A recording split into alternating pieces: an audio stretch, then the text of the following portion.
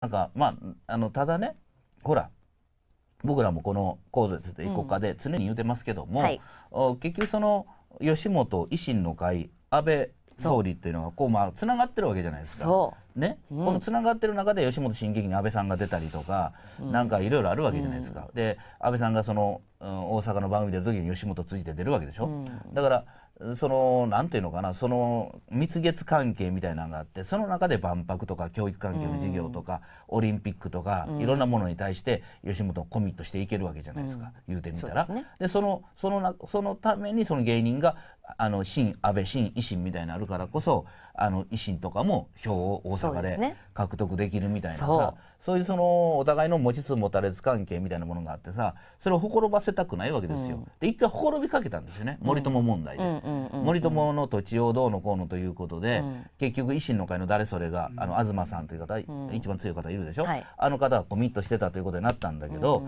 要するに維新の会からしたらわしら関係ないあれは官邸の問題やとか言うて、官邸が何？みたいになって、ちょっと仲間割れしそうになった時もあるんですよ。でもあの金持ち強い者同士というのはとことんまでいかないんだよね、なんとなくこう、あの落としどころを見てこそうまたこうまあまあまあまあっていうね。まあまあってなるんだよね。またこうなんかなんか杯を交わしてねまあまあ。ちょっとあったけどいろいろあったけど。水に流すわけだよね。